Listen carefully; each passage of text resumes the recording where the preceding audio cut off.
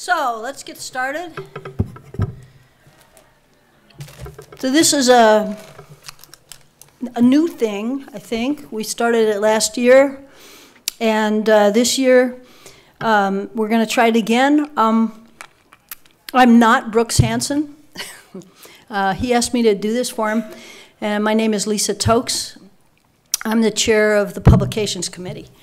So uh, we're going to have the greatest hits from uh, various journals, and we're going to start with uh, Steve Hauck, who's going to tell us about um, the most exciting papers published in JGR Planets. So let me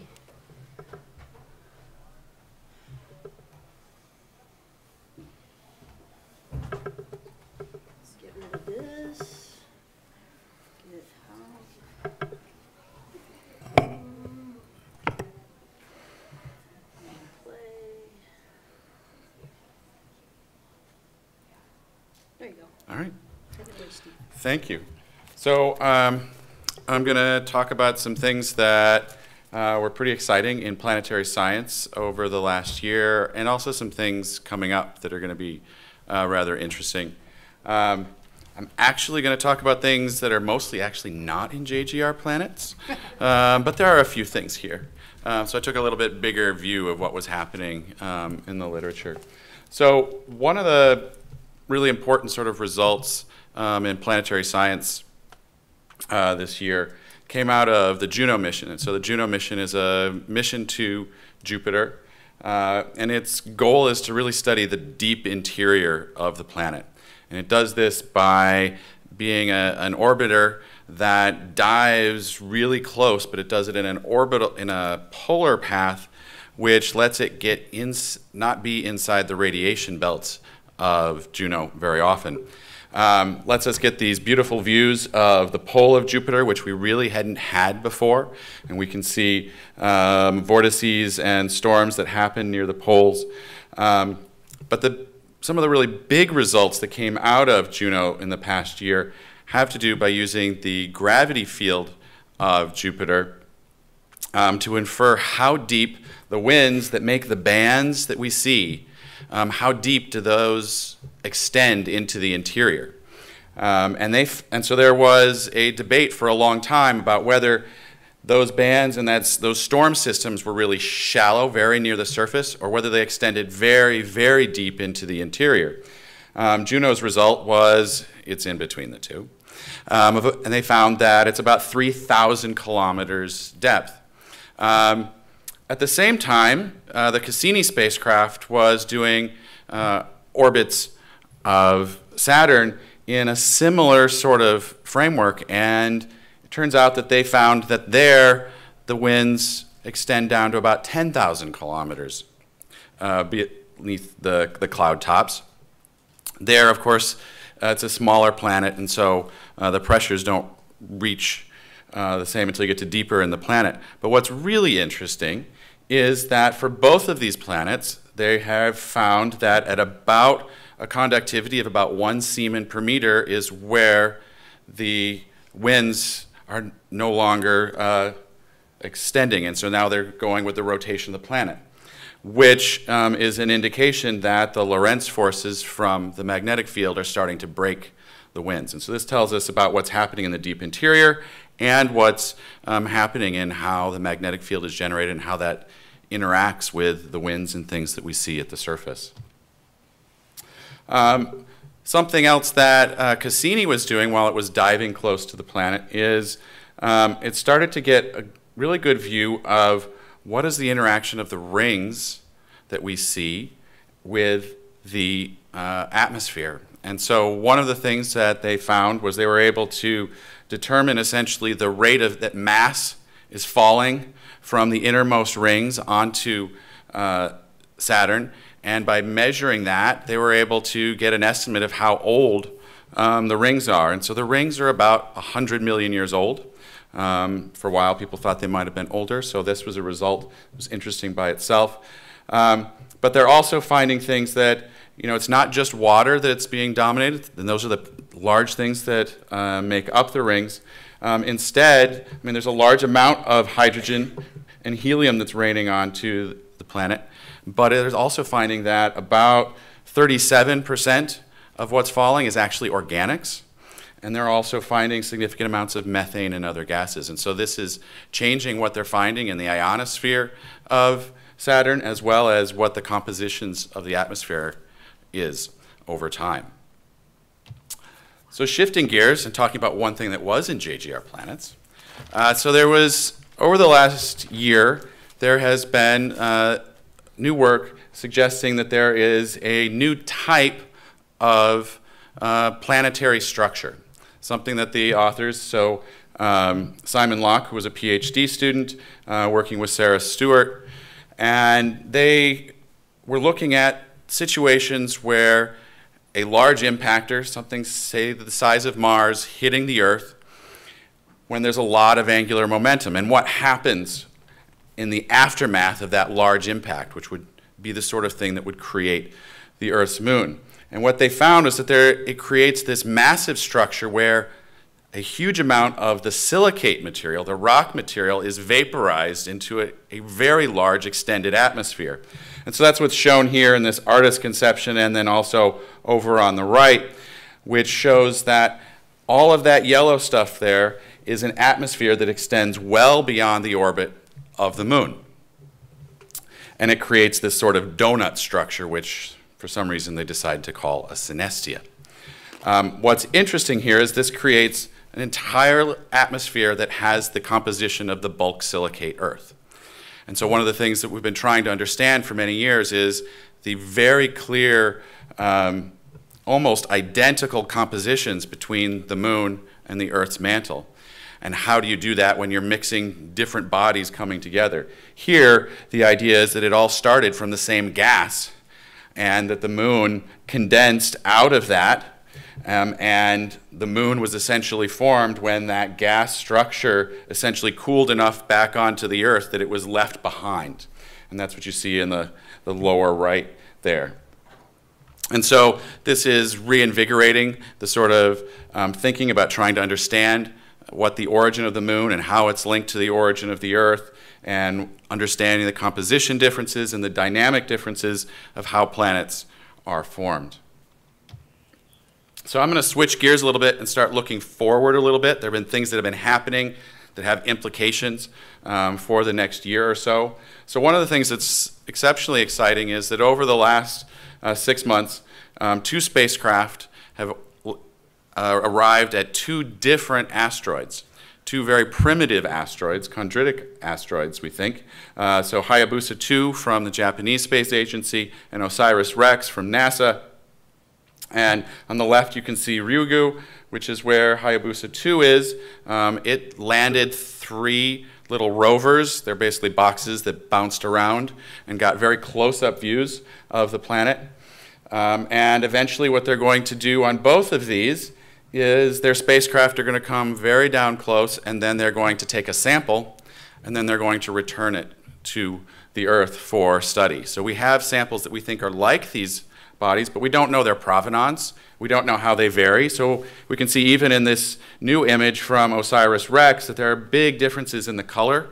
And they announced at this meeting that they're also seeing uh, water and organic absorption bands. So they may be starting to see things that will be exceptionally primitive to tell us about things that happened um, in the earliest days of the solar system. And then last, there are a few things that are upcoming pretty soon. Um, so um, on New Year's, New Year's Day, uh, New Horizons, which was the spacecraft that flew by Pluto and the Pluto system, it's actually going to make a flyby of a Kuiper Belt object, um, which has been named Ultima Thule. Um, and so this will be the most distant object that we'll, we will have studied. It's going to fly by at about 3,000 to 3,500 kilometers, so it's somewhat of a distant uh, flyby. Um, but this, these are objects that date from the earliest stages of the solar system and will be able to give us a sense of, you know, how are these objects, how are they evolving over solar system history and what are they made of in understanding how the solar system was formed. Uh, last week, um, the Chinese Space Agency launched a rocket with a spacecraft to go to the moon. Um, it's going to have a lander called Chang'e 4 And it is expected that that spacecraft is going to land on the far side of the moon um, in the South Pole Aitken Basin. South Pole Aitken is the largest impact structure um, on the moon and is an area that tells us about its earliest history and also maybe a place where we can start to understand even more about the interior of uh, the moon. And so it's expected, the Chinese Space Agency hasn't suggested a, an exact landing date, but the, the understanding is that it, it may be sometime in the, very early in the new year that they may do the landing of this. And then there were some other recent events you may have heard of. Um, NASA landed the InSight spacecraft on Mars. This spacecraft is going to be placing its seismometer on the ground, and it also has a self, as a drill that's going to drill down uh, five meters um, itself, and it's going to use that to measure the heat flow um, on the planet. And so this will be the first time that we will have had um, seismic data that are not just about the wind. Um, Viking had a uh, seismometer that was up on the deck and just measured the vibration of the spacecraft. Um, this will be placed on the ground and will be able to tell us about the seismicity, the interior structure um, of Mars. And then last but certainly not least, um, the Europeans and the Japanese have launched the Bepi Colombo, Colombo mission to Mercury. It launched in November, um, and it's starting its seven-year cruise on its way to orbit the planet, and it's a two spacecraft mission which will be studying both the magnetosphere and the interior and surface of Mercury, and is will be a great follow-up on the Messenger mission um, that was from NASA that orbited from 2011 to 2015. Thank you. Are you prepared to take questions? Uh, well, let's have one question, or, or is, does anybody have a question?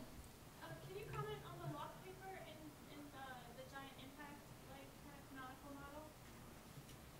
I, I mean, comment how? So I think it, it's prime, so, so the, the question is about, so this lock model is, it, it's a variation on the, the concept of a giant impact being the, the, the canonical way of forming the Earth's moon.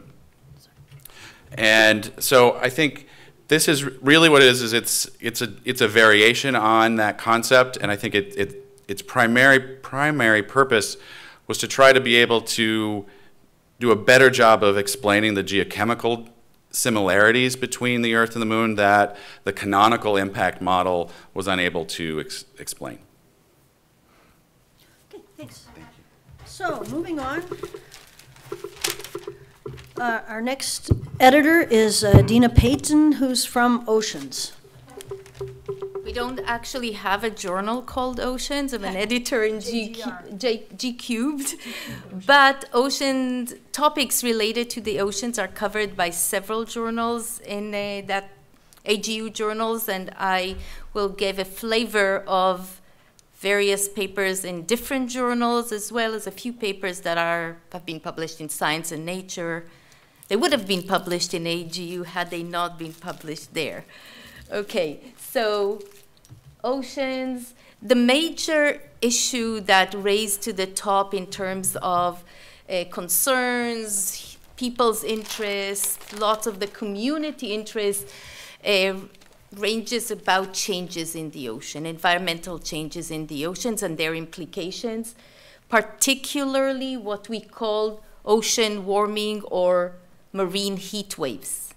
Like we have land heat waves, there's marine heat waves. As you can see on the, in the figure over there, this is from a recent paper, a review paper about uh, ocean warming, and it compares, for example, here, the changes in temperature on decadal in different de decades between 1930s and the 2000s, and you can see very clearly, this is real measured data, how uh, large of a warming effect we have. This is from one site in Antarctica, but that's being measured all over the place, and that has a relative, a, a wide range of other implications, including ice melting, ice calving, sea level rise, hurricanes, uh, which bring flooding to the land, reef bleaching that is related to ocean warming, and changes in ocean circulation. I'm going to show just one or two examples from each of these impacts. So in terms of the ocean warming, there's ocean hotspots. Certain areas in the ocean are warming much more rapidly compared to the rest of the ocean. These areas are already experience, experiencing a lot of change. You can see them here in the map. They're all over the place. And this has consequences to species habitat range because different organisms are adapted to certain temperature ranges. It causes changes in ecosystems like harmful algal blooms, changes in ocean productivity with implications for fisheries and therefore for uh, people that have all their lives uh, counted on being able to fish for their living. And then there's a whole series of paper about so what do we do? So adaptation and best management practices to address these issues that are probably unavoidable at this stage. Even if we stop adding fossil fuel to the atmosphere, the oceans are still going to absorb some heat. And this is an example of how this new terminology of marine hotspots is defined, just like we have different um, categories of hurricanes. We now have different categories of hotspots. This is defined by a, each bracket is a degree above the average annual temperature that persists for certain duration. And you can see examples in the last, uh, you know, in the two, since 99, different events where you can see that the Imax is the temperature above, how many degrees above the average the heating was and for the, the duration in days, days, and then there's the definition whether it's a category, moderate or strong or a severe or extreme heat event. So what happens when you heat the atmosphere and you heat the ocean? One of the things that happened is ice melts. Um, I don't, I'm not connected to the internet, but the thing that is in uh, golden there, if you Google that, it's an amazing video that was captured by uh, people who were doing observations in a, in a in the Jakobshavn Glacier in Greenland or other, no, actually in the Helheim Glacier in Greenland, and they actually captured this huge calving of an ice, uh, of ice, and were able to quantify it and, and map it and see it, and it's really loud and moving. So it's an amazing thing to look at and gives you appreciation for what this climate change is doing. So if there's anybody that you know that denies climate change, this is a wonderful thing to show them. Um, it's 90 seconds and it's really amazing. There's also a lot of satellite images of other glacials that have uh, been calving now. The glaciers or these icebergs themselves are not directly contributing to sea level rise because they're already in the ocean, but they're kind of stopping the land-based glacials from getting in the ocean. So once they're gone, the glacials that are eh, on land move much rapidly, and that contributes to sea level rise. And you can see here there's a whole series of uh, papers related to sea level rise, hurricanes, and flooding, with a lot of modeling that looks at what will happen to the same level of hurricanes with the same um, wind speed if the sea surface temperature is one degree or two degrees higher. How much flooding will that uh, result, or how much higher flooding will that induce? And on average, if you do these calculations for the areas that are prone to be hit by hurricanes, if now in a severe hurricane you get eight meters of waves ramping onto land with these models for scenarios of 1.5 or 2 degrees Celsius increase, you will almost double that. So that is really has a lot of implications to people who are living around the coastline, And there's 100 million people that live within one meter of the ocean. So that's, they're definitely be uh, covered by waves, as, as, you can see in that uh, from, last, from 2017 in Houston. That's the picture up there. Um, other things that are the heat is doing is it's changing the density of the ocean and therefore circulation. And both the um, uh, and Atlantic meridional overturning circulation which controls the movement of the Gulf Stream up north and warms northern Europe, if that's going to slow down, there might be implications to heat transport in the ocean, changes in ocean circulation with severe implications to what's happening on the continents, as well as uh, changes and, and, specifically almost termination or, or shutdown of El Nino events. And El Nino events have, again, consequences to people living on land in terms of precipitation and a lot of other effects. So these are um, results that have been models, models, modeling results about how ocean circulation will change with these temperature increases. So the temperature also has, uh, temperature increases also have implications to living organisms. There's a lot of papers about coral bleaching and ocean acidification, and the bleaching just basically kills corals.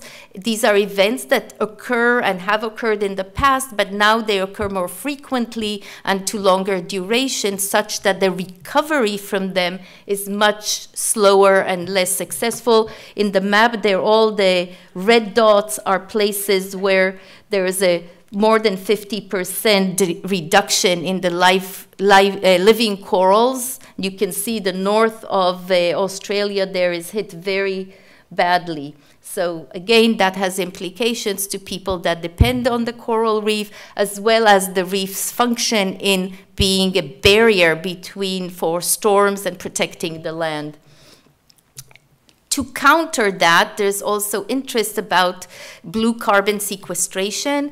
Uh, there's a lot of potential for natural sequestration of carbon in wetlands, in seagrass beds, and uh, mangrove systems. So there's a suite of papers that talk about how much carbon is sequestered in the systems, what are the governing processes, how does sea level rise and tidal going to impact the or change the carbon sequestration? Is there anything we can do in terms of restoration of these ecosystems?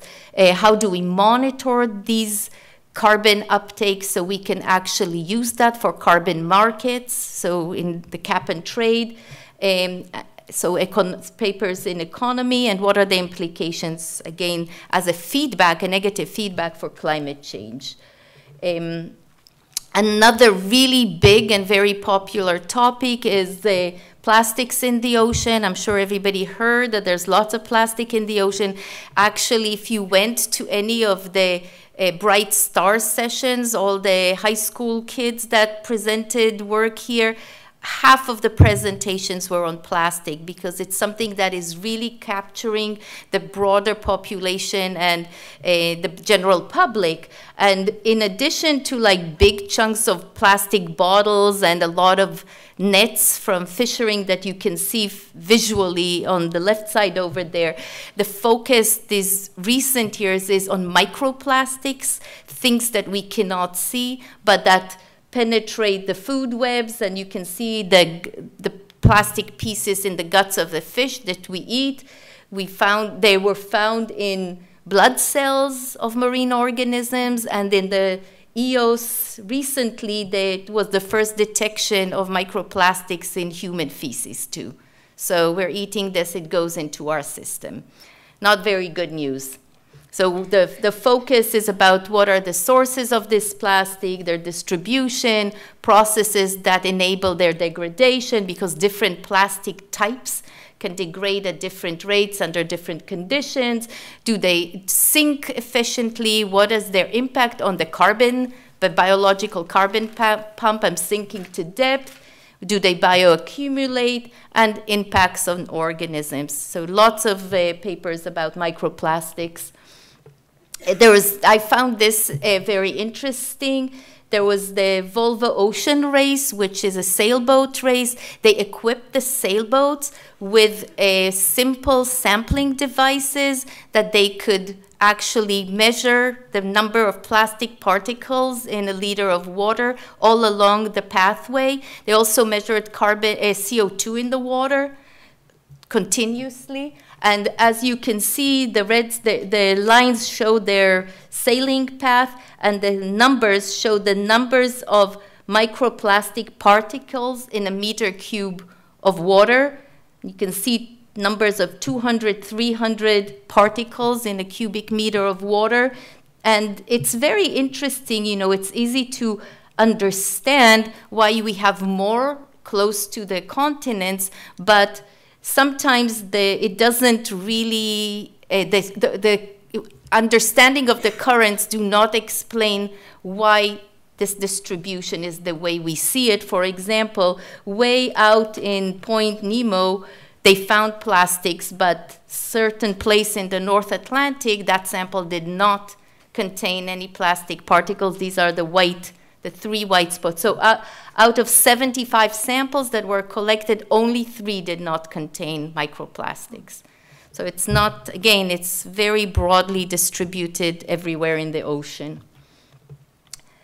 Uh, another area, I'm almost done, is deep sea mining with the development or use of uh, lots of rare earth elements and metals like cobalt, nickel, copper for batteries and for uh, other electronic instruments. Where the community is looking for other sources of mining and there are these nodules in the bottom of the ocean that are enriched with lots of rare metals, and they, there's a lot of processing or scoping on a lot of also negotiations of who can mine this, how do we mine this, and so on, on one hand. And there's a very, one of the, oh, the geotracers cruises that went out of Oregon and uh, on the clip, um, where is that? Uh, Clarion Clipperton, Clipperton zone. That's off Oregon? No. Clarion, Clipperton, the That's- fracture zone, That's on the fractures. uh, That's not off Oregon. That's south of Oregon, no? I think so. It's a little bit south of Oregon. Uh, anyways, they while they were sailing over there, they saw lots and lots of these about 26 or so boats that were scoping the area. They were all mining boats. Now that has implications to sea-dwelling organisms that live at the bottom of the ocean, like this ghosty octopus up there. They actually lay their eggs on the manganese nodules, and they kind of protect them there. They nest on these nodules. There's a lot of other organisms that, that that's their habitat. The other thing is the noise of all of this mining that is going to impact navigation of mammals and pollution because they're not the plans are not to bring all of this sediment back to land but to at least sieve and process it in the ocean and dump the residu- the leftovers back into the ocean which will have a lot of negative implications. So that's another area of study. These are oops sorry these are some of the papers that I mentioned. Um, there's also a lot of interest in new technology, both in terms of new sensors, autonomous vehicles, robots, and communications, because we realize that on cruises, on boats, we can't really cover the ocean efficiently and effectively. And sending these unmanned vehicles and sensors, we can do a lot more. Uh, and even sample, there's even sensors that can go underneath icebergs and collect data there, which is actually almost impossible from the surface.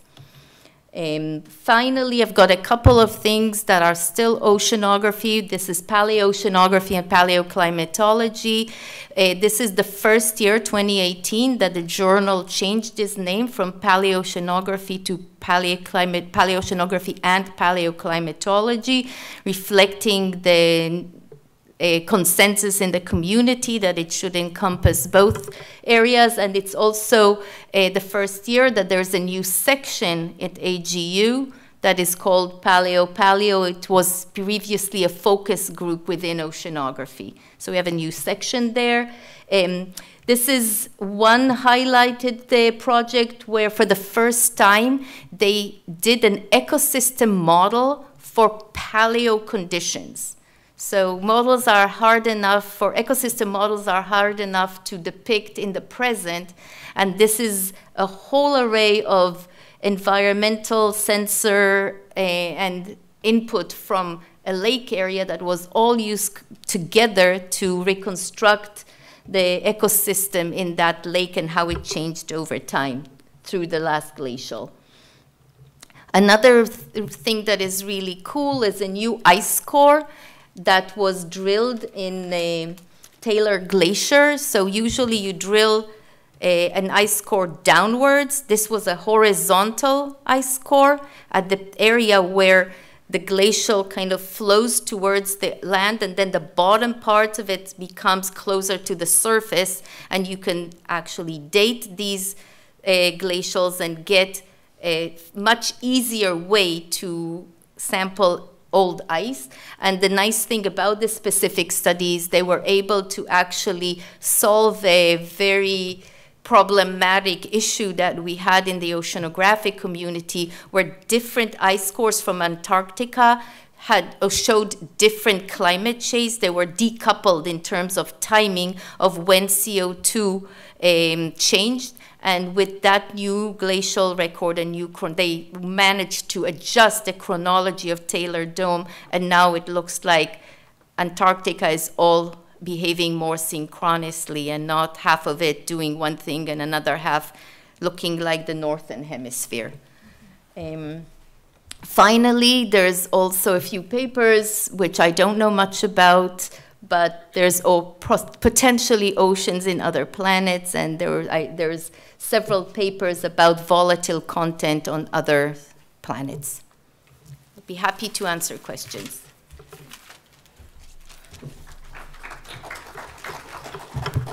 Thank you, Adina.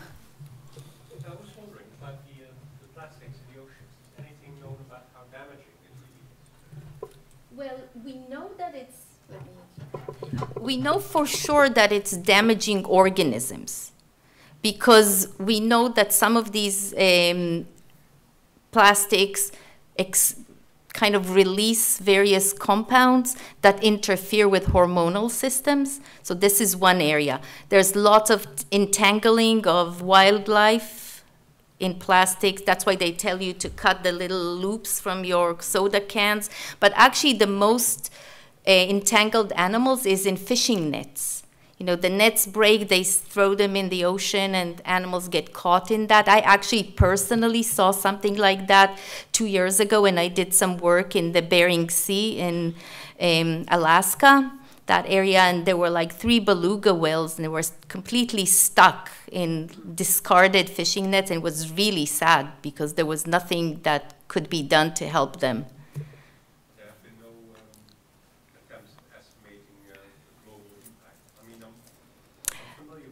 Mm -hmm. stories you, you tell. I'm, I'm, sure it happens, um, but I was just wondering how not in terms of, as far as I know, not in terms of global impacts on global ecosystems or carbon cycle, but rather local communities. There are global estimates on how much plastic is out there, but not, but less so on the impacts in terms of the global picture. Thank you, Adina. Good luck getting your flight. Okay, the next uh, talk will be from Tectonics, and it will be given by uh, Taylor Schildgen. Is John Geissman here too? No. Okay. Yeah, so John apologizes for not being able to make it. He had to go catch a flight. Um, but I do want to acknowledge him because he helped to put together this presentation that I'll be giving. Okay, um, so so um, I'll be talking about what's exciting in tectonics in the past year in 2018, and I want to start off by talking about earthquakes. Um, so predicting earthquakes is really the holy grail of the field of seismology. Um, and unfortunately, we're still very far from being able to predict earthquakes. However, we have made some substantial improvements this year in being able to predict the location of aftershocks that follow major earthquakes. And in some cases, these can be quite devastating on their own. And I'll just give you a quick example from the 2015 Gorkha earthquake in Nepal. Um, so the main shock associated with this earthquake had a magnitude of 7.8. It's located here in red. Um, this resulted in 9,000 people killed, 22,000 injured. Um, the biggest aftershock had a magnitude of 7.3. It's shown here in blue. It occurred a couple weeks later, and this killed an additional 200 people and left more than 2,500 people injured. Okay, so this year in science, De Vries et al. used a machine learning approach that was trained on more than 130,000 main shock aftershock pairs to try to better predict the location of aftershocks. And then they evaluated their results using an additional 30,000 main shock aftershock pairs. So this upper row is showing the results of this machine learning approach. So what you see in the red color is their predicted locations of the aftershocks for a few different big earthquakes. And in black are the actual locations of the aftershocks. Okay, so it's not too bad, but you can see compared to the previous estimates, based on a Coulomb failure stress change model, it's actually a huge improvement. Okay, next we have some good news from Antarctica, um, and this comes um, as a result of some work published in Science by Barletta et al. They were working on the West Antarctic ice sheet in the Amundsen Sea embayment. This is an area of quite rapid ice loss, as you can see in this figure over on the right. Um, but actually, one of the most challenging things to do in calculating ice loss is to correct for how much the crust itself is rebounding upwards isostatically as a result of the loss of that load. Okay, this is something that we call the glacial isostatic adjustment. Um, so as part of their study, they wanted to better constrain this GIA. So to do that, they set out a series of GPS stations. And those GPS stations recorded some extremely high uplift rates, um, in the most extreme case, 41 millimeters per year of uplift. The only way to explain this really rapid uplift is with a very low mantle viscosity. Right? So the mantle is flowing back underneath that crust to push it upwards, um, specifically with, with a value of around 10 to the 18th Pascal seconds. And that's actually two to three orders of magnitude lower than common estimates of the mantle viscosity. It actually has two implications. Um, first of all, it means that this glacial isostatic response is much faster in this location um, than we've previously appreciated. And the good news comes from the fact that this actually has a stabilizing influence on the ice sheet. Right? Because the crust is rebounding and lifting the ice sheet upwards, it actually lifts it partly out of the water, which can help to prevent catastrophic collapse of the ice sheet. Okay, um, so there are other locations in the world where there are also new findings of very rapid uplift. Um, and one was in south central Turkey in a place called the Tauride Mountains. And In this case, the cause of the, uh, sorry, the rate of uplift was constrained with a very different approach. It's based on dating marine sediments that have been lifted up above sea level. Um, so Eretman et al. in tectonics um, dated marine sediments that are currently at elevations between 1 and 1.5 kilometers above sea level. Um, and they found middle Pleistocene ages, which means about 500,000 years old. So this implies a long-term uplift rate of 3 millimeters per year, which is a whole lot lower than those rates in Antarctica, but it's actually still very fast relative to many active mountain belts around the world. And this is actually hard to explain because in this location, there's no apparent crustal shortening and thickening like we expect in active mountain belts. Right? So what they suggested instead is that this rapid uplift is also a result of an isostatic response to the removal of a load. But in this case, we're not removing a load from the top, such as through melting ice. Instead, we're removing a load that's actually pulling the crust down from below. Right? And that load in this location is suggested to be um, a subducting oceanic plate beneath beneath the Taurides.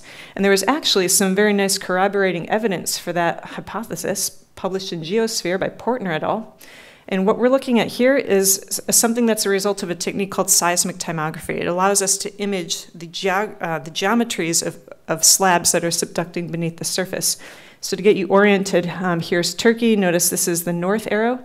So we're looking towards the southwest. And below this map is the geometry of these downgoing slabs. Right? Those are these blue blobs. And notice that this particular slab, which is subducting beneath southern Turkey, has a large tear within it. So this is suggested to explain this isostatic response and rapid uplift in southern Turkey. Okay, one final example of how mantle flow and mantle processes may be affecting um, deformation at the Earth's surface is coming from the Tibetan Plateau and actually all of Southeast Asia.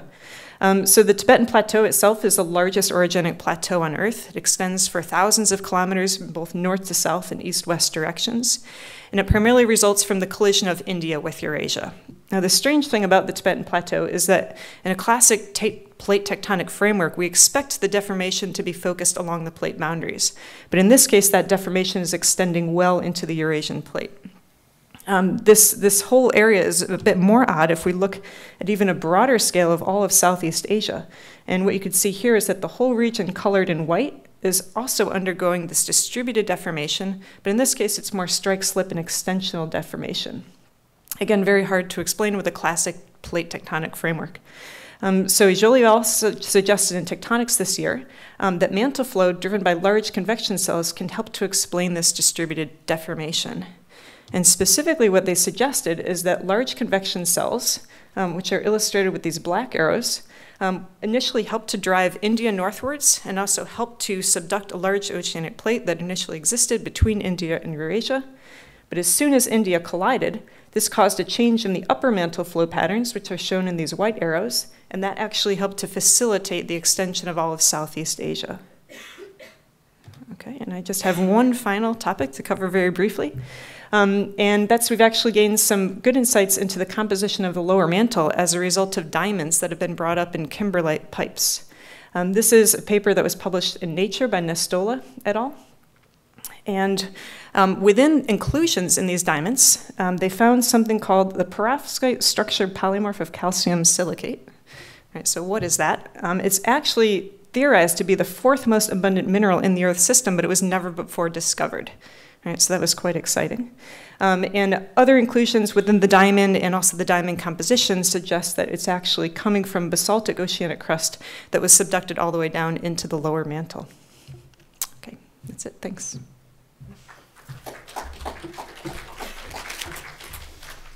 Thank you. Time for one question? No questions? Thank you very much. Oh, oh, sorry, I'm blind. Okay. Um, Can you tell a bit more about this uh, perovskite? I, um, I'm, you know, I, uh, I have no background in this field. You say it's supposed to be the fourth most abundant, Yeah, so but apparently we haven't found it yet. We haven't found it because it's it's it's supposed to be mostly within the lower mantle, and we get very little material coming up from the lower mantle. Um, it's theorized to be there based on um, what we see about things like how seismic waves pass through um, the Earth. Right, so based on the speeds, um, um, this is actually suspected to be a very common mineral, but we just haven't had material come up from those depths, very, very until now. Yeah. So you, let's say, confirming that it actually is there, how, how would that help us? Or is that a silly question?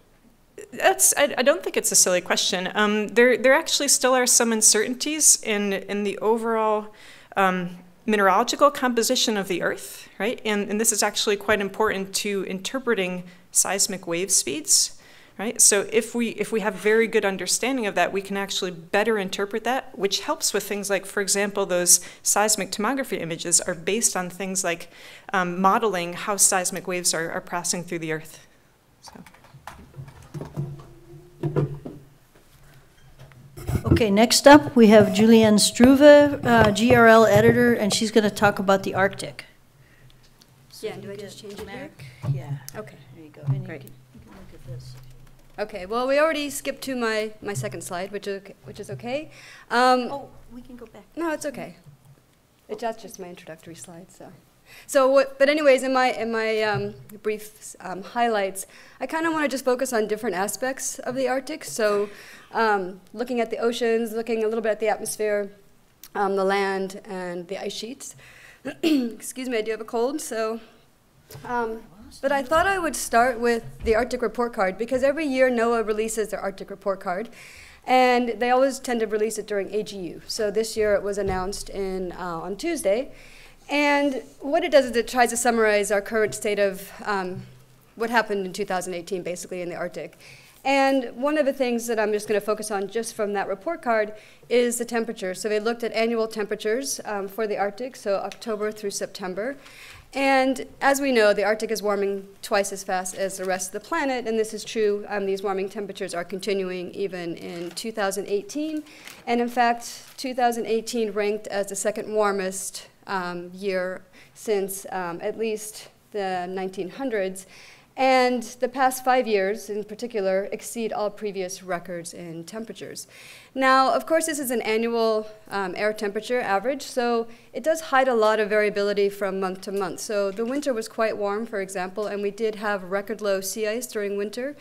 But then in summer, things were not, a little bit mixed. So in June, we had kind of a warm month, but then July was quite cold. And even though we thought maybe early on in the summer we might approach record low sea ice conditions or enhance Greenland melting, July was actually quite cool and it really slowed a lot of the ice loss um, and, and melting over Greenland as well. And August then was quite warm, and it actually was warmer than July, which is quite unusual. I think it's only the second time that's happened in the last 50 years where the month of August was actually warmer than the month of July. But anyways, we're still continuing on the track of a much warmer Arctic, and of course that has a lot of implications for the various components of the Arctic system. So the first paper I just wanted to highlight, and this just came out about three weeks ago, but it's sort of confirming what we already know in that the melting in Greenland in the last several years, the last couple decades, is very unusual compared to what it used to be. And what this study did is it actually looked at different ice cores, and these were mostly around western Greenland. And for example, they had two different ice cores here where they're looking at stratigraphy in the ice cores and relating it to surface melt through also satellite observations. And they find that there's a strong correlation, for example, between these two different ice cores that were about 40 kilometers apart. Um, so by looking at these spatial variabilities in these different ice cores, this is a different ice core that's actually in the melt season. But basically, you can see for um, these are two different cores. This is one core and this is another core. This one goes back further in time. You can see that the melting that's been happening in the last few years was quite unusual for this long um, term record. And this is just showing you the mean from 1994 to 2013 for each of the different um, cores. And this is a, a, core that's in a lower elevation, so it actually has a lot more summer melt. So it does have higher values. But again, what's been happening in the last several years is quite unusual. And they could go back to about 350 years um, with these different cores and basically show that today's melt is really unprecedented in at least 350 years. And that confirms a lot of other studies that have come out over the last several years, even using longer cores. But I think what was unique about this study was that because they looked at several cores, they were able to try to extend this to cover the entire ice sheet rather than specific locations um, from certain cores.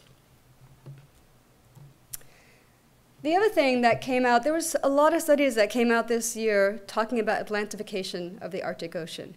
And I'm just pulled out three. Um, there was one in JGR Oceans, there was two in Nature Climate Change. And the figure that I'm showing is just an example from the Barton et al. paper. This is just showing sea surface temperatures in the Barents Sea.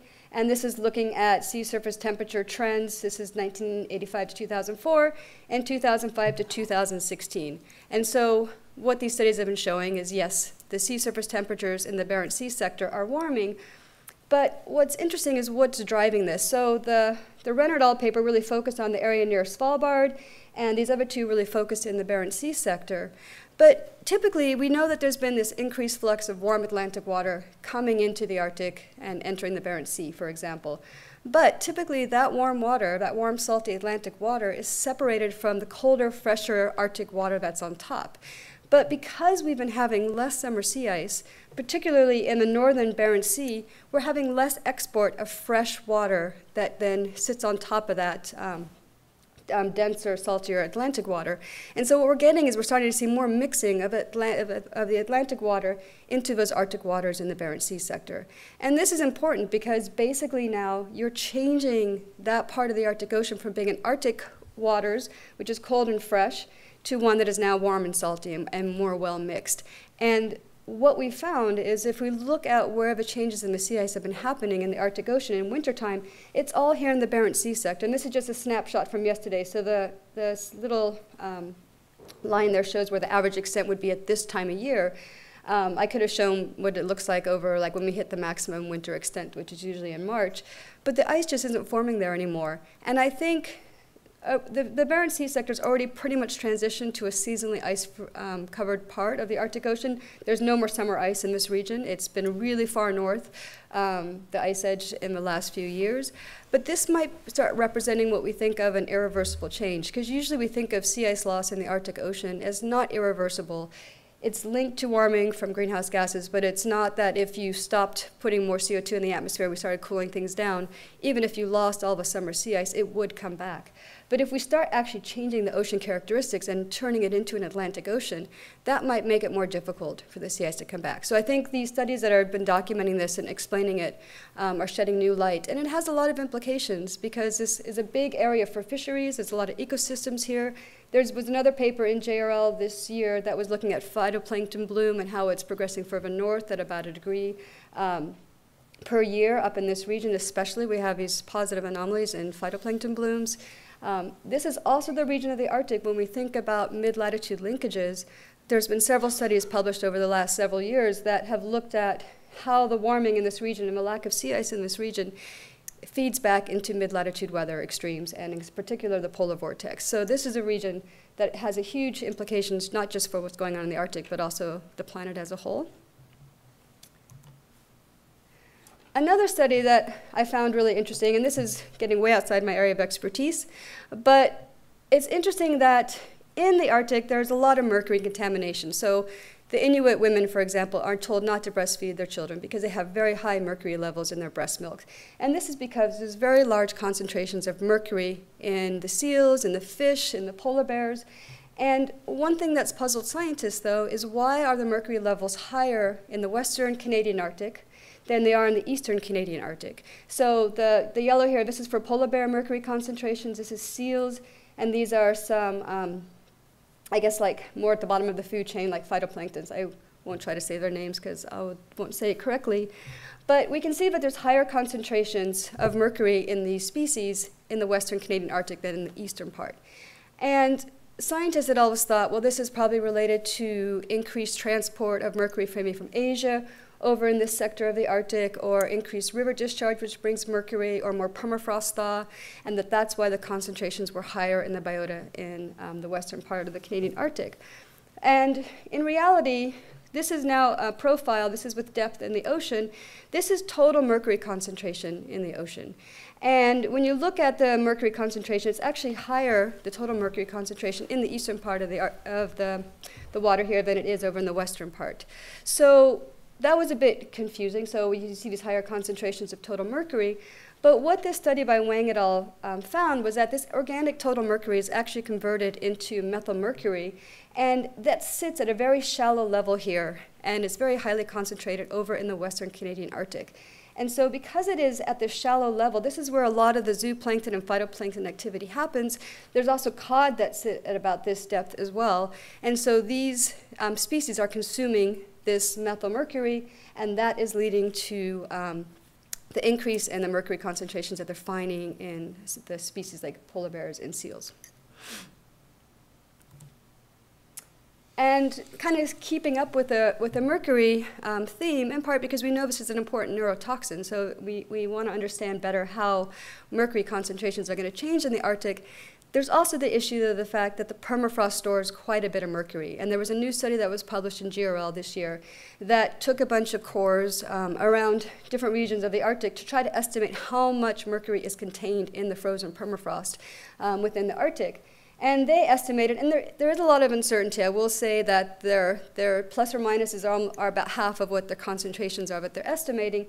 But they were estimating about 32 million gallons of mercury is trapped in the permafrost which is actually twice as much mercury as all the rest of the soils, the ocean, and the atmosphere combined. So there's a huge amount of mercury stored in the permafrost, but there's a lot of spatial variability with, depending on sedimentation rates, also proximity to mercury sources and um, river discharges. But um, they, they also broke it down as a function of depth. So the first um, 30 centimeters of the soil, um, then sort of active layer depth down to 100 centimeters, and also down to 30 centimeters, and then just the whole total amount of um, mercury stored in the permafrost. And you see there's actually a huge concentration if you look at the total amount stored in permafrost, definitely on the Siberian side of the Arctic. And a paper just came out like two days ago, because I get these alerts, um, just sort of general Arctic alerts.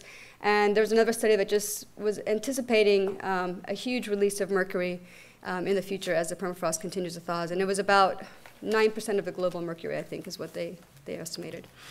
I didn't read it in detail since I didn't have time, but. And then, again, I, I thought this is way, way outside my area of expertise, but I find it quite interesting because besides the fact that permafrost stores mercury, it also stores a very large amount of carbon. In fact, there's more carbon, probably about twice as much carbon in the, in the permafrost than what's in the atmosphere today.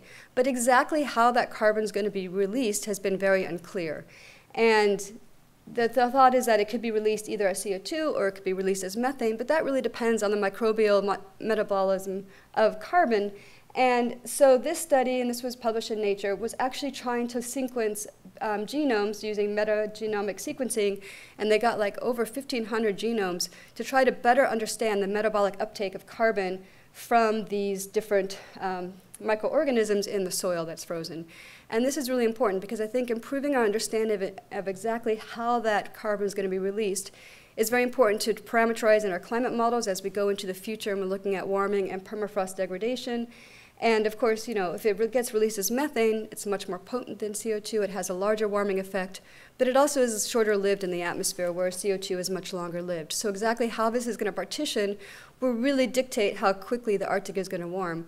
I mean, when we're looking at future projections right now for Arctic warming, we're looking at warming um, in the autumn and winters of about 7 degrees Celsius compared to today. So it's, it's a huge amount of warming, and that's going to impact all of this um, permafrost and this microbial activity. And then finally, I just thought I would um, touch on um, just a quick comment because IPCC had their um, report that came out on 1.5 degrees um, and compared to the two degree warming scenarios. And they had a statement in there saying that there's high confidence that the probability of a sea ice free Arctic Ocean during summer is substantially lower at 1.5 degrees Celsius warming compared to a 2 degrees warming and that with 1.5 degrees Celsius of warming, we may expect summer ice-free conditions to happen once per century, and with 2 degrees, it might happen once per decade. Um, the other important thing maybe to note is that this temperature overshoot, it is irreversible. So we do think that it's not an irreversible process, that sea ice can come back because there is a lot of interannual variability. And several studies came out this year talking about how much of the, the sea ice variability is caused by internal climate variability versus anthropogenic changes. Um, we, we think about a million square kilometers from year to year variability is just due to natural climate variability. So it's not necessarily going to happen that it will always be ice free. But I was involved in a couple studies, so I'm not trying to do self promotion. But I like the figure that we made, and we have a figure like this that shows you know, what the Arctic sea ice will look like under different warming. So today we're here. This is the 1.5 um, degree warming, and we're starting to just border on when we start seeing ice-free conditions emerging in September. But by two degrees, we're already going to be ice-free in August and September. And so I think this IPCC statement is actually a little bit conservative um, with what we know to be happening in the observations. It's mostly based on climate models, but the climate models are not as sensitive to the um, external forcing as what we're finding in the observations. So we were estimating in the, the Notz and Stroeve study that with another 1.7 plus or minus about 0.2 degrees Celsius, we should see ice-free conditions in August and September. Or we could also translate that into gigatons of carbon, which is about 800 extra gigatons of carbon, plus or minus 300, and we'll start seeing um, ice-free conditions again in, in, August and September. And it's not just that it's, we're looking at one month in the summer, but we can extend that out into the future under different warming scenarios and how many months of the Arctic Ocean will become ice-free. And then finally, I thought there's a few interesting things that we should look forward to for next year, and there were excuse me, sessions here at AGU, of course, on ICESat-2, which was launched by NASA. Scientists should start having access to this data um, sometime later this spring, which is exciting because we haven't had the ability to do, for example, sea ice thickness during summer, because right now we're relying on CryoSat-2, which is a radar altimeter. It doesn't really work in summer when it's melting. But ICESat-2, on the other hand, we should be able to um, better estimate sea ice thickness, for example, during summertime, which we currently don't have estimates of. Of course, it's also used for um, looking at how um, places like Greenland and Antarctica are changing and other glaciers. It's also used for height to vegetation studies. So um, I think scientists are very excited to start getting their hands on the ICESat-2 data, and hopefully it'll work a lot better than ICESat-1, which had some problems with the laser, so we didn't get that much data. The other exciting thing, I think, in Arctic science is the fact that um, the German ship Polarstern will be frozen into the ice starting in September 2019, and then it will drift with the pack ice, hopefully for a year, and stay within the Arctic Ocean.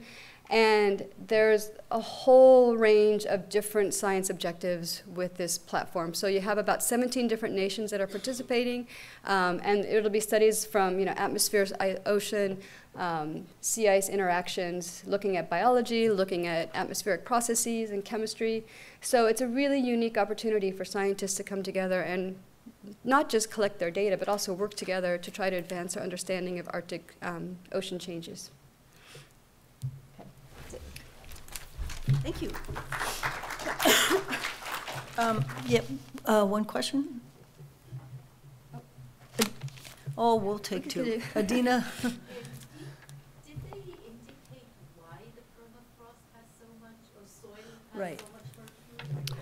I mean, part of it was sedimentation rates, I guess, that control the mercury deposition, and I don't know enough about um, this. And they were looking at um, organic soil carbon and its ratios with mercury, and I think a lot of it does, some of it does come from emissions, but some of it's just also atmospheric processes that has a seasonal cycle in the mercury deposition. And different regions have different amounts. And I think part of the difference, I think, between Siberia and Alaska side had to do with sedimentation rates, which is a little bit outside my area of expertise, so I have to admit I don't know enough about it. And you had one? Yeah, um, quick. ICESat-2 then uses a doesn't use a radar, uses LiDAR also? It's a laser altimeter, yeah. So this will be a green laser, whereas ICESat-1 was a red laser. Yeah. So are there plans to use these data also for cloud studies and aerosol studies? I, I guess I don't know if they're specifically focusing that within the science team, to be completely honest, but I mean, I suppose it could also be. But I mean, the main target is ice mass changes. I mean, that is that's the overall goal of, of ICESat-2. The one thing that I think is exciting for scientists is that it, with CryoSat-2 still in operation and then ICESat-2, we would actually able to finally ma map snow depth on sea ice if we assume that the radar is coming from the snow ice interface and that the LiDAR is coming from the top of the snowpack. And this is something we don't know anything about because we can't really detect snow on sea ice with um, current satellite methods. So I think this is a unique new opportunity for us.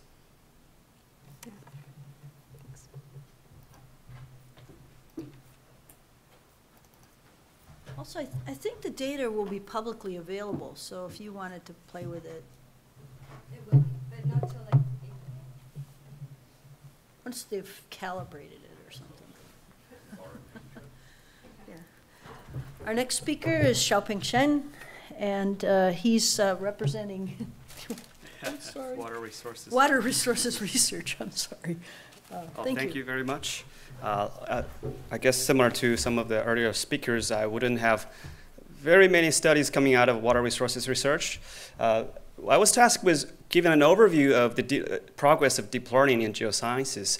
And to do that, I find it imperative to talk about the, the talks and, and, and posters in this AGU because the, the development in this field is so fast that if, if, we, if I just summarize the papers that have been published, I mean, they, they almost become obsolete when, they were published uh, because this field develops very fast and uh, there's so many in- exciting progress. So I reviewed both uh, papers and, and uh, posters and, pre- and presentations. Uh, all right, so just uh, to give you a 30,000 feet uh, overview, in, in 2016 we have 18 submissions in the AGU about deep learning. Uh, in 2017, 58 and there's 168 this year. As you can see, there's a triple submission year over year. And I, I kind of looked at how it maps onto the development of deep learning in computer science. We noticed there's three years, 2012, 2013, and 14 to 15, where there have been three years of continuous triple over year uh, growth. So, and then uh, the, the growth becomes uh, uh, two times double and then 70% growth. So I think we're still looking at an early exponential growth stage, and I expect there to be, a, if this comparison is any, any way uh, useful, I, I, think, I think we're still looking at a significant amount of growth. And I give you a kind of a breakdown of the uh, submissions to this AGU.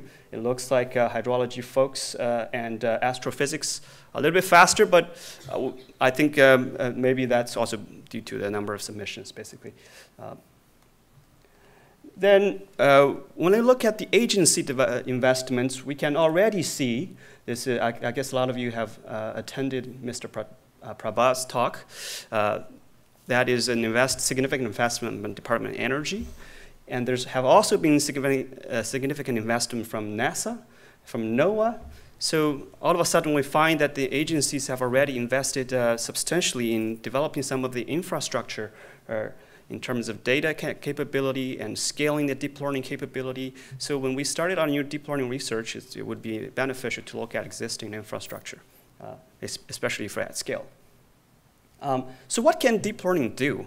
Uh, I think the sentiment also changed from the crowd changing from what in the world is deep learning to maybe I want to do that too. So, so let me explain a little bit about what deep learning do. And the, the first layer of application would be just uh, plain assembled data. Um, that is the uh, original application of deep learning in visual recognition.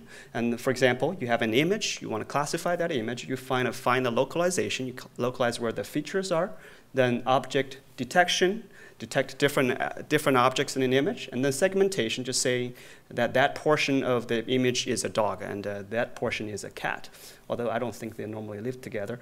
Um, but so they applied the same kind of technique for uh, uh, so Kashinath, this is work out of the Berkeley lab.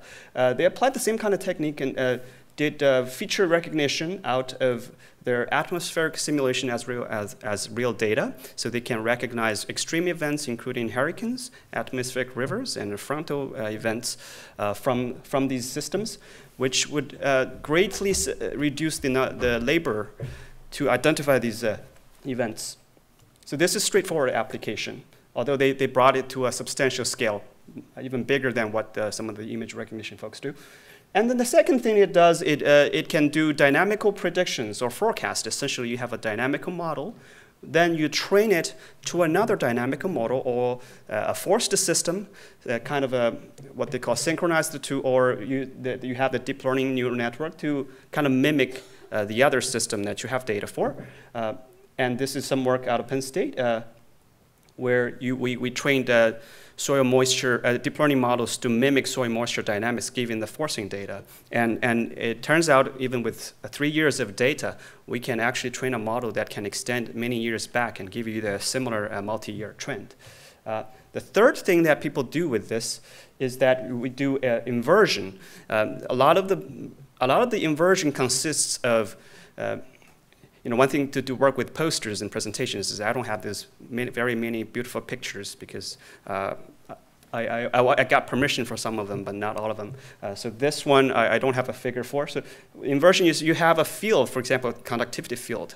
Then you want to know what is, what is the average conductivity or effective conductivity from that field. And you want to invert some large-scale parameters out of that field. Uh, previously you have to solve very expensive systems, very expensive uh, inversion problems, but people have figured out that if you use deep learning, you can infer these uh, properties directly.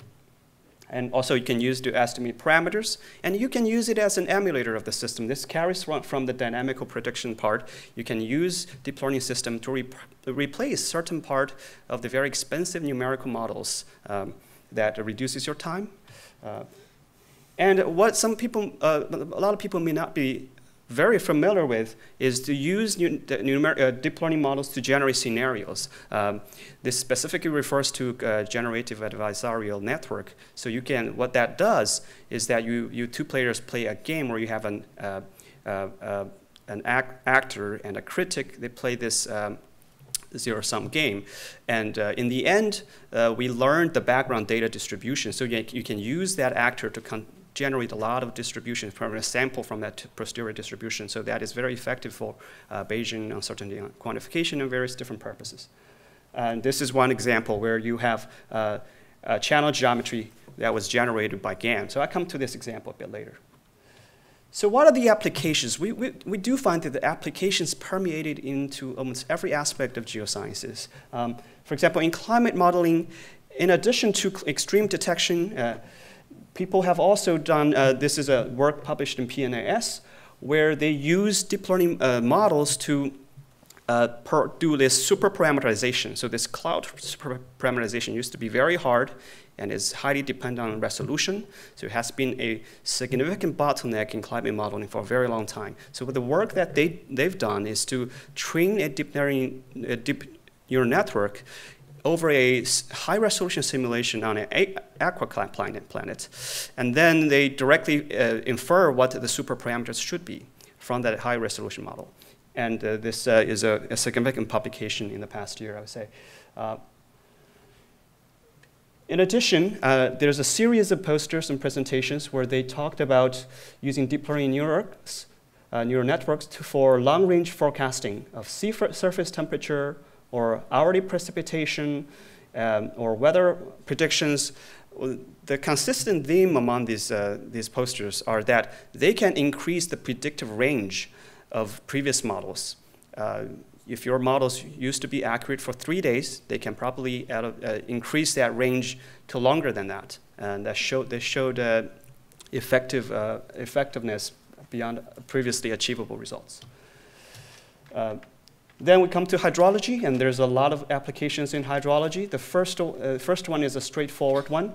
Uh, uh, these folks, they showed, uh, this is from uh, Peking University, where they, uh, actually, sorry, Southern University of Science and Technology. They, they built a computing vision, computer vision model to model rainfall runoff. But what is also interesting is that they showed these camera ring gauges, where you just take some, some camera, take continuous videos, you can infer rainfall intensities from those uh, videos.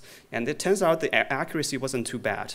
And this can completely change our understanding of available data.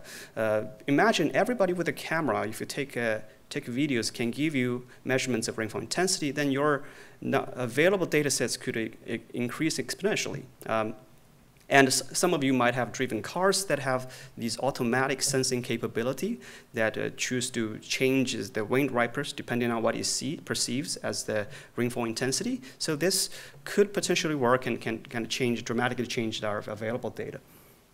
Uh, this is also another work that recognizes global reservoirs from Landsat images. Uh, what is interesting is they distinguished between reservoirs and natural lakes. In, in the end, uh, the neural network learned to distinguish that. It learned to capture features such as dams that sits across this uh, sits across these reservoirs, but are missing from the lakes. And they can the, the networks learn to know that these features are important. And uh, the, such database was not available before for many different countries.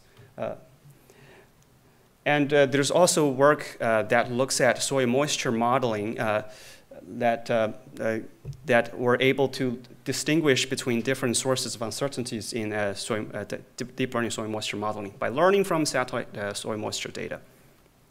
Um, and th there's also other work, I come, come to them later, so there's also hazard forecast that um, I think this was invested by NOAA that people have been doing, at being uh, piling together different data sets, and they've been training uh, various different machine learning algorithms, algorithms, including deep learning algorithms to uh, forecast disasters, including lightning, hail, and uh, uh, tornadoes. Uh, they've been showing some preliminary successes in these projects.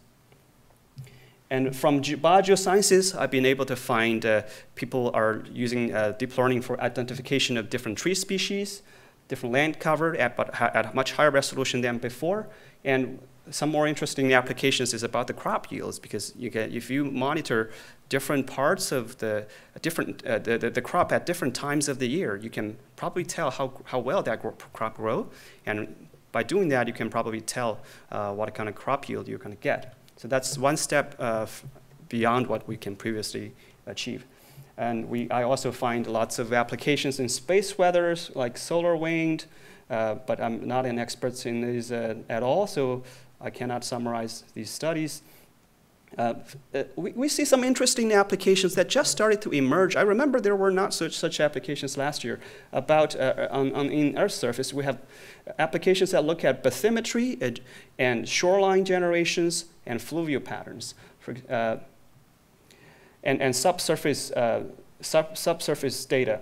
For example, this work uh, from uh, Lawrence Berkeley National Lab, they used conditional generative, gener generative uh, adversarial network, conditional GAN, to, to uh, learn the probability from training images, and they can generate a lot of images. That allow them to estimate the uncertainties uh, and uh, parameters from their field uh, directly. So train another model to, to learn those parameters directly. So that's a massive speed up from previous practice. Uh, this is the work that Nesvold does from fluvial geology, for fluvial geomorphology. So what they did is they trained these uh, GANs from many different satellite images. And they, these GANs eventually learned to craft these uh, meandering channel patterns. And they're highly realistic. Uh, the results are very promising. Uh, uh, and I've also seen from geomorphology that you have new parameters, new parameterization schemes for, for wave run-up from Gaussian process model, this is Gaussian process model, and then for littoral systems identification along the coastal systems, they can identify different, uh, whether it's uh, coastal wetlands or uh, different, different uh, types of systems. And then uh, they use, people have built deep learning neural networks to predict how shoreline would evolve given different uh, impacts from the ocean. Uh, one thing, one uh, work, piece of work that I find to be very interesting is the prediction of uh, chaos. Uh, people have trained a deep neural network to predict how chaos evolve, and this uh, relates me to one of the work I see in physics where people train neural networks to predict how chaos evolve, and they can be successful over eight Lyapunov times, which previously was, was thought to be impossible. So there's a lot of potential, and uh, we're not, we, we, do, do, not know where the limit is uh, for the moment how, about how much these networks can, can emulate these uh, chaos, chaotic systems. So there are some emerging trends out of this. Um, one thing that, that we as a group kind of published is that uh, there's a new data-driven avenue where we have the data. And the data, give, we can train deep learning models out of this. Then we can use some interpretive methods to know what the deep learning models have learned and generating competing hypotheses from these models.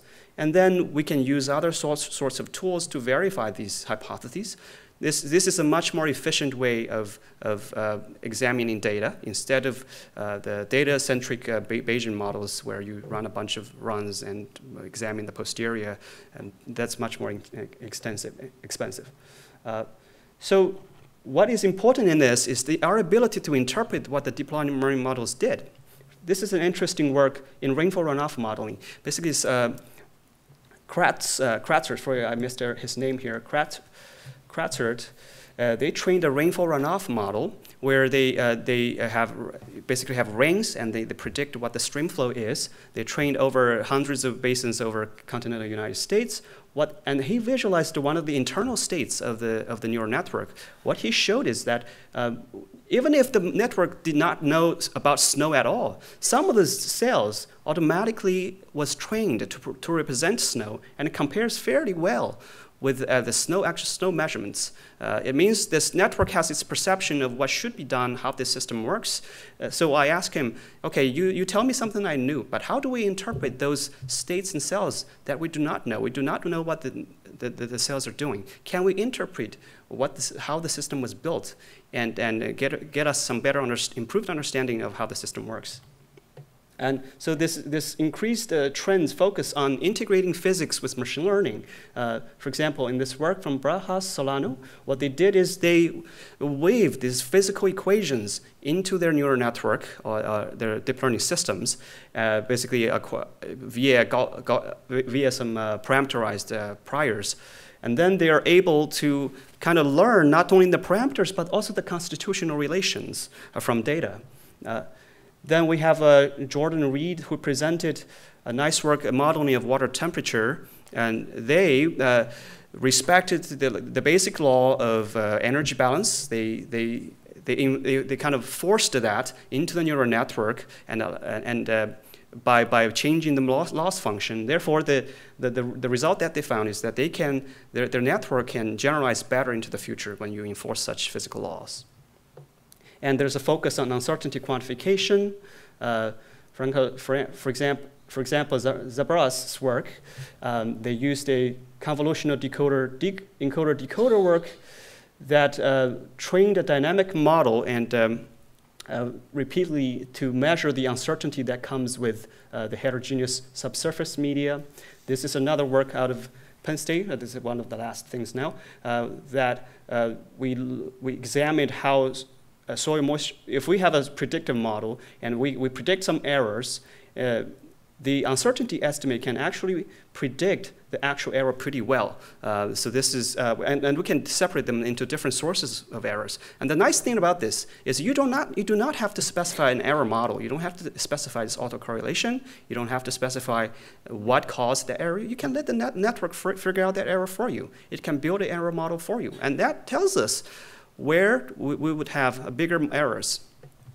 Um, so that some, some of my last thoughts, there are some potential issues. One is uh, we have many, many applications, but the, there are very poor controls of uh, reproducibility and comparability.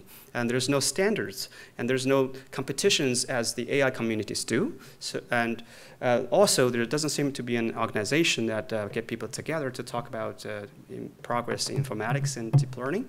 So I was wondering if there would be opportunities to, uh, for some of uh, more organized events like competitions to uh, bring us as a community. That's it. I hope I didn't take too much Thank time. You. Thank, Thank you. Question? One? Jason?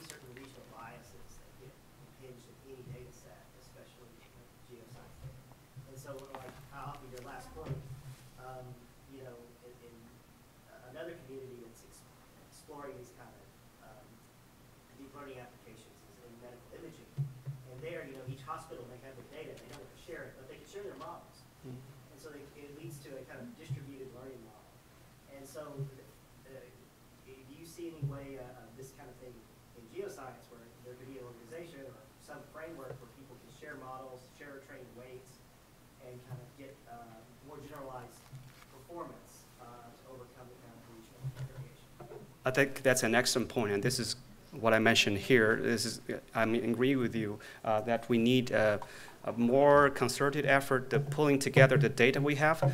We might have a better opportunity now that we've learned experiences from other domains that we could have put together either competitions or some other big data sets that we could uh, put together and leverage some of the infrastructure investment that have been, have been made uh, to to do things together in a more effective manner. In fact, co community competitions are highly effective, highly efficient because they, uh, one group probably prepares the data and then everybody can work with that data. Uh, mm -hmm. So it's highly efficient uh, uh, a way of using capital. Mm -hmm. yeah. yeah, I agree. We got to move on. Um, so our last talk is by Dolores Knipp, uh, who um, is uh, space weather. So, space weather, what the heck is that?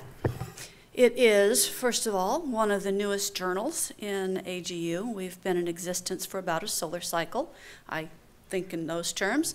So a little over, uh, about 15 years.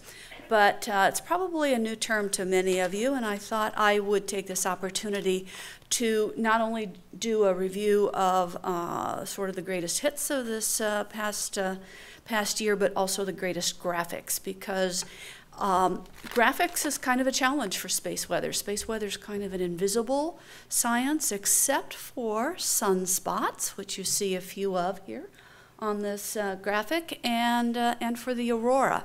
So I'm going to spend a little time on the both, both of those.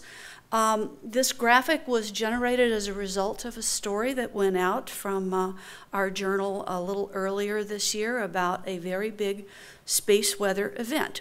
So let me tell you by comparison and contrast about weather and space weather.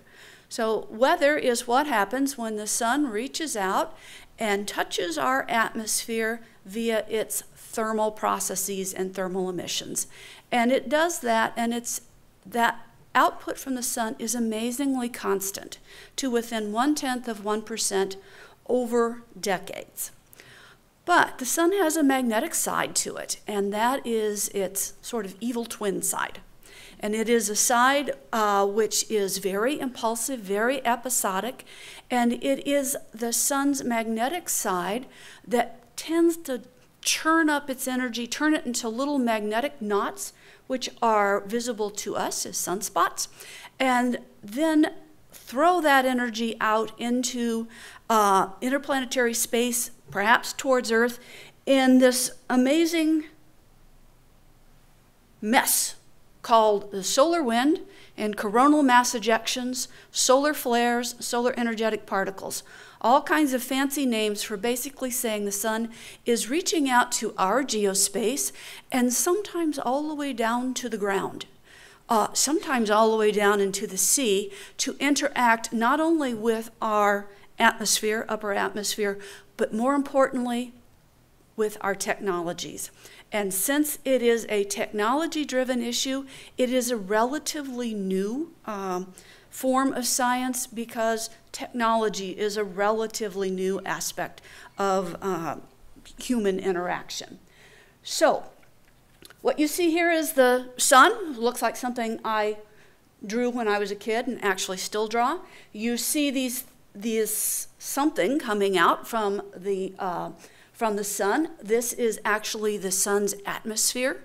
We live in the sun's atmosphere, and it is uh, free flowing, but full of transients, and it is the transients that are usually of most interest. And then over on the right hand side, you're seeing um, the Earth and its magnetic protective cover. And you really don't get to see uh, the Earth's atmosphere, but those colored ribbons are part of the particles the uh, charged particles in the geospace environment that can come crashing down into our atmosphere and create the beautiful aurora. So, kind of a long introduction. So, let's think about the aurora and the first, uh, the first um, event that we call space weather. It is an event called the Carrington Storm in 1859, and it was an interaction with a very fast ejection from the sun that compressed our magnetic field, produced aurora all the way down to almost the equator. This is a very new image pulled out of the archives from a paper just published in um, applied, uh, applied Physics by uh, Hisashi Hayakawa et al. And what we are doing is we are starting to discover our history in space weather. So this is one of the few images or paintings of an aurora that I am aware of. It is made um, from Melbourne, Australia, which is actually mid latitudes. So these aurora we're showing as great arcs at mid latitudes. And this is sort of our baseline storm. What we know happened in the northern hemisphere were currents that ran through the internet of the time, which is a telegraph system, and some locations that were hubs for telegraphs were seeing so much current flowing through their systems that they actually caught on fire. So that you can imagine that we really do not want things like that happening in current day systems that are very delicate electronics. So this is our kind of first view, and I'm, I'm going to use it as a baseline because for the longest time we thought that this was the first space weather storm, but not quite so fast. One of the things that another that a colleague of mine has found um, is that there was a Carrington storm before the Carrington storm. Now, why would I give the storm a name? It is because the first observation of a great solar flare that at least was recorded was done so by Richard Carrington in 1859. He was actually observing these knots of magnetism and saw a huge conflagration in one of these events and noticed that about 19 hours later, amazing things were happening, including aurora to low latitudes and uh, all of the problems with technology. So I call this a Carrington storm before the Carrington storm. We've thought that Carrington storms only maybe happened once every 150 years, but going back into the archives now, Space Weather and, and associated journals are showing, oh, there was a big event in 1770. It's the first aurora recorded in both hemispheres and near the equator. It comes out as a fiery light like vermilion sand in the north with something of a golden color rising up inside of the polar star. It was a worldwide event uh, with uh, paintings being done by our uh, colleagues in Japan. And this is the incredible red aurora in Japan in 1770. What follows on with that, also very recently published, is a picture that absolutely fascinates me. This is the same red aurora, a different uh, perspective, but what you're seeing over here in the middle, kind of lower right, there's a little figure down there, appears to be standing in a stream, and I, I thought, what is he doing? He is pulling buckets of water out of the stream. Those buckets of water are being lifted up into the thatched roofs because these people believe that a firestorm is imminent. It is going to be coming over the hills at any minute, but in fact it was the red aurora. But they, at that latitude, had no history of seeing red aurora, uh, and, and so they were preparing for Armageddon. So we are starting to build up our history of space weather, uh, and this is one example. So I'm going to I'm going to go forward with some work that I was doing a little bit earlier this year. We have found out that there was a similar extreme eruption that has flown under the radar, extreme event that propagated to Earth in 4 August 1972. It arrived, it got from the sun to the Earth in less than 15 hours, which is a record. And uh, we've somehow uh, regressed and only able to show this work in black and white because that's the way the images were made, but at least we were imaging the sun, and now you can see this knot of magnetism. It spewed out materials that actually interrupted, interacted with our uh, newly developing uh, space systems. Spacecraft missions actually stopped operating within about 30 to 60 days because their solar panels had taken on so much radiation. It destabilized the power system in North America. That was known, but the impact of that was not fully understood until we saw other things going on. And the magnetic perturbations, when the sun reached out with those magnetic knots and crushed the Earth's magnetosphere, um, resulted in the unintended detonations of sea mines in Southeast Asia, 4,000 of them. They all had to be replaced. And that was in the Vietnam War uh, when we were very actively uh, trying to bring hostilities to an end by uh, limiting war supplies. And let's go. So let's come to something a little more recent. Uh, we had an event, it wasn't quite as great, but it was one that was very well uh, viewed uh, with all kinds of space and ground detectors. Last, uh, not last September, but a year ago, September, we had the largest flare of the solar cycle occurring in a place that was very well aligned uh, with Earth. As a result, the aurora, so now we're getting better pictures, we're looking down on the aurora over New Zealand. Uh, that created an interaction with the power grid in New Zealand. Power transformers uh, because of the currents that were extra currents flowing in the transformers, actually started to sing in very low frequency radio emissions. And so, radio detectors at some distance from these um, uh, subgrid uh, substations were, were hearing sort of the groaning of these transformers as they tried to get back to, uh, to normalcy. That is not a good thing to have transformers groaning and transformers heating. It means that you are likely to suffer a failure if you don't take control of the system. Um, that event is also important because it is the first event where we were able to see these solar energetic particles that come screaming out in advance of these uh, slower traveling coronal ejections. They interact with Earth's and now we know Mars' upper atmosphere. Nuclear reactions are taking place with these very fast particles. And this was the first event where we had dual, simultaneously measurements of solar energetic particles reaching into Mars' atmosphere, creating nuclear interactions seen at Mars' surface and at Earth's surface. Now I will go to something, I've gone from the wild, now a couple slides on the mild. Space weather and citizen scientists. Because space weather is becoming a topic that is a little bit more popular, slightly better understood, we have people, especially in the northern and extreme southern climes, uh, going out and looking for aurora. And one of the things that happened with a citizen scientist eff effort that was reported uh, here earlier this week is that a new type of emission has been found over. We knew it was there, but nobody knew that it was special. But we see these great long purple blue streaks from time to time. You'll see them very often in locations like uh, Calgary.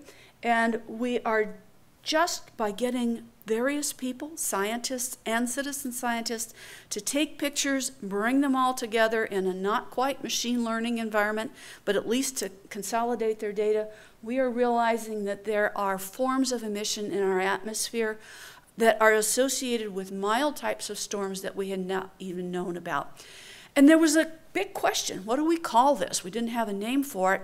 Lots of going back and forth between the scientists and the citizen scientists. And they finally they, they had their technical names and they couldn't agree on what to call it, so they decided to call it Steve. And well, you go, Steve, what is that? I kept hearing about it. I go, what is Steve? So finally, with a lot of scientific effort, we figured out what it was. It's very fast, narrow flows of uh, particles in the upper atmosphere. And at last AGU, after the description was presented, one of the scientists came up and said, Well, that is a strong thermal emission velocity enhancement. It's Steve. So, so Steve got a name and a meaning uh, at AGU last year, as I understand it. So, pretty topical. Finally, what's coming? Just launched, launched earlier this year, our first effort at viewing space weather from geosynchronous orbit. We view terrestrial weather from geosynchronous orbit all the time, but now we have a spacecraft, uh, uh, instruments up on a, uh, a mission of opportunity. It is looking at our Earth in the ultraviolet with an ultraviolet spectrograph. On the right, you are seeing the sunlit side of the atmosphere that has atomic oxygen that is emitting at 135 nanometers. That's ultraviolet. The orange region there, that's our very thin protective layer that we call our atmosphere. And that's all the way up to our upper atmosphere. The lower atmosphere, the 15 kilometers, isn't even thick enough to show up on this. But we are going to be able to look at the limb, which is the orange part, and the disk, and do this on a repetitive, ongoing basis. We'll even get to see over on the left side, there's an extension. That is the aurora. So the aurora also glows in atomic oxygen. So we're going to be able to monitor the aurora, kind of big scale, in the southern and northern hemispheres simultaneously at night, and then see what the reaction is to our of our upper atmosphere to driving uh, by the solar wind and solar activity.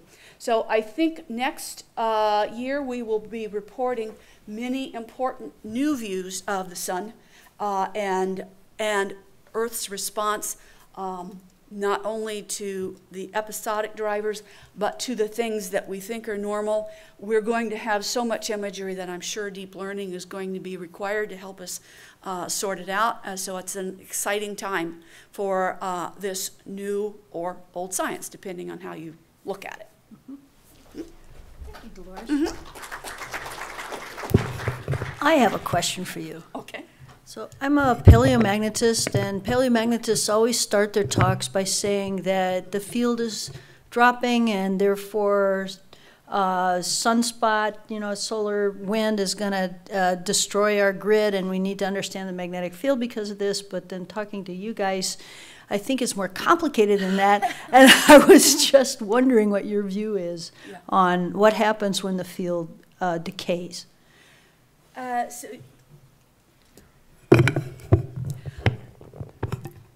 there is some there is some modeling going on to uh, try to understand if we if we have a, a weaker field, how much our protective covering would be sort of uh, hit. It, how would it vibrate? How would it uh, interact? But I I don't know that I can quite say that oh we have to worry about the field decaying and our power grids being uh, at, uh, at risk because the uh, frequency with which things are happening on the sun are probably high enough to, to uh, give us more concern with just the current state of the magnetism. But the one thing I think that is kind of interesting to um, consider is that as we lose or reduce that protective magnetic covering, uh, the galactic cosmic rays, which are zinging through us, or at least their daughter particles are zinging through us here in this room, are there going to be more of them? And so there has been a lot of debate about does that mean um, faster change, faster evolution? Um, what does that mean? Uh, yeah, more to come. So I think being a, a kind of a new science, we can make a lot of conjecture, but I don't think we have a lot of answers. Okay. Well, good, so we don't have to buy tin foil hats yet. Um, I'm just curious, so why is it weakening? I, I don't know the drivers for that. Oh, uh, nobody knows. It's called chaos, and, you know, it's going down. And it goes down, it goes up. Oh. I mean, but is that like a time cycle that it, you see it going up and down? and- It goes down and it goes up on its own time scale, and Sort we of try to. every f- 500,000 years is a. Not regularly, Not you know, there regularly, were like 40 million years with no reversals at all, and, And right now we're in a reversal. mm, that's debatable. We're in a I say not, but some other people say yes, and I made a bet it will not reverse in the next 500 years, but, you know, how am I going to collect? There's a lot of debate. We, we don't know. I mean, uh, it's generated, never mind, that's not space weather, so. Yeah, There, there's an aspect of that, though, in that there is a particular weakness in a region called the South Atlantic Anomaly, and Mm-hmm. that South Atlantic Anomaly is growing. We know that it's growing because our spacecraft go through there, and there are some spacecraft with sensitive instruments that actually have to shut down when they go through that region. So, yeah, Mm-hmm. there's And some- that's growing. Yeah, that's growing. Okay, all right. Okay, cool. Uh, Any other questions for Delores before he scoots off? Okay, now you had one question for, um, was that you, for some, somebody that I, I cut you off because I was trying to get through. Uh, did you want to ask your question? Y- Yeah, you. I, I had a, well, I, I stopped when during the machine learning. Yeah, Xiao, Chaopeng. Oh, did he scoot out? Oh, okay. Because I, I, I think we have the room until uh, another uh, few minutes, so we can have one more question. I, I was just wondering if you came across any studies where machine learning was used to uh, do error modeling. What I mean by that is, uh, let's say that you have a physical model. And it's probably not going to agree with your observations. So you model this error with a machine learning tool. And then kind of like play games, right? Use different parameters and try to learn what is actually missing, missing physics. That, that, that's a very good point. In fact, uh, I see some of the application that does that. So essentially, your target is your error, and you build a model to specifically learn that error. You learn not only the actual dynamics, but also why the model makes such an error. You could do that. Uh, uh, normally, if your objective is to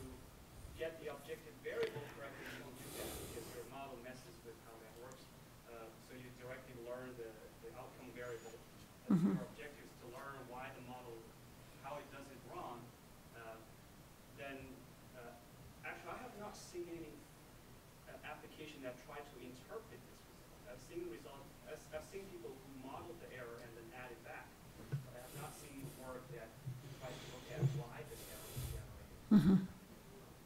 That, that would be a good thing to pursue. Using various systems that we introduced very soon.